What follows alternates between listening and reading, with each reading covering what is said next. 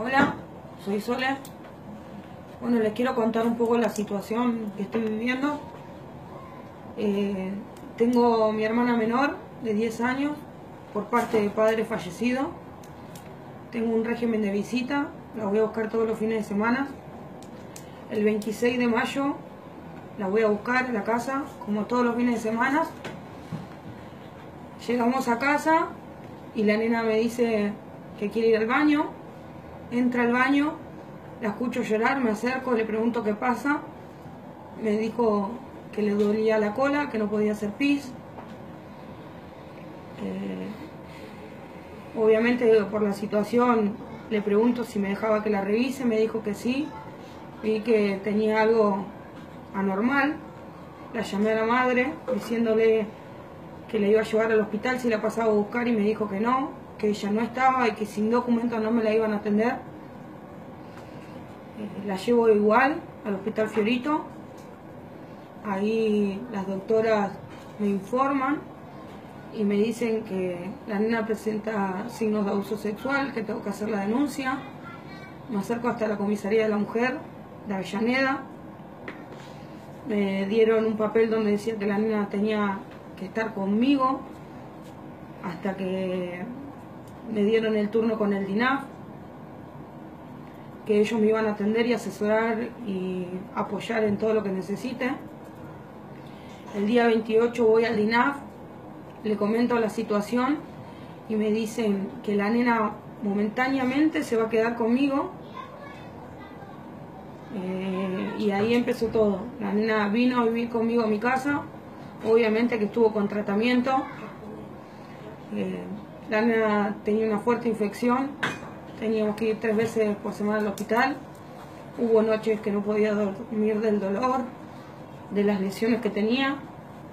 Estuvo con tratamiento psicológico.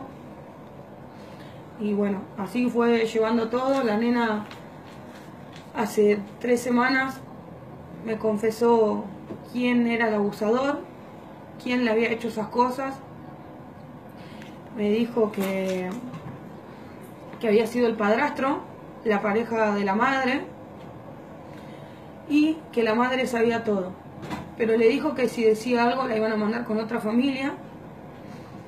Obviamente que voy al polo judicial a hacer la denuncia, me toman la declaración en la UFI 2. Eh, y me dijeron que espere, que espere, que ellos me iban a llamar y me iban a informar cualquier cosa. A todo esto la nena siguió con el tratamiento, con los psicólogos, eh, el DINAS me estuvo citando, estuvimos yendo. Eh, el miércoles de esta semana, que, es miércoles, que, que cae el miércoles pasado. El miércoles me llaman que me tenía que presentar con la menor para restituirla en la casa. Obviamente de la desesperación empecé a buscar por todos lados alguien que me pueda ayudar, porque obviamente no la quiero devolver a la casa, más sabiendo todo como es. Eh, me empecé a mover por todos lados, el CAC es el que me está ayudando mucho, con el abogado y el asistente social. Eh, los del DINAF le dijeron que malinterpreté las cosas, que no me iban a sacar la nena, que solamente era para un encuentro con la madre. Fui tranquila, hoy al DINAF, y me dijeron que le tenía que entregar la nena a la madre. Me sacaron la nena, se la dieron a la madre, se la dieron a la madre, no les importa nada, eh, no me dijeron por qué se la daban, por qué no. Les dije al DINAP, le mostré, tengo videos, eh, tengo cartas de la nena donde me dice lo que pasa. Igual el DINAF me la arranca y se la da a la madre.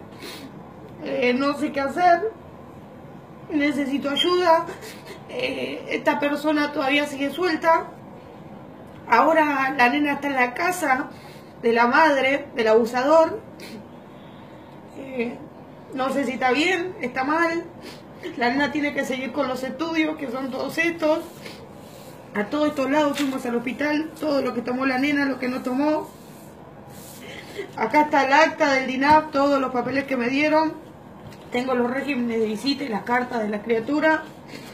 Acá tengo las denuncias. y esto sigue parado, no puedo hacer nada porque es fin de semana, estuvo la feria, nadie me dice nada. Así que necesito que me ayuden porque no sé a quién a recurrir, no sé qué hacer, estoy desesperada. Lo único que quiero es que mi hermana esté bien. Y por favor, si me pueden ayudar a difundir esto, se los voy a agradecer. Voy a hacer hasta última instancia. No sé si ellos tienen algún conocido o qué parte, qué es lo que pasa que no sé, porque hay algo que no cierra, como puede ser que este tema pasó hace dos meses y todavía no hay culpables. Así que, nada, bueno, esto es lo que me pasa y necesito que me ayuden. No sé si la municipalidad está involucrada, quién está involucrado, pero necesito ayuda. Recurro a este medio porque es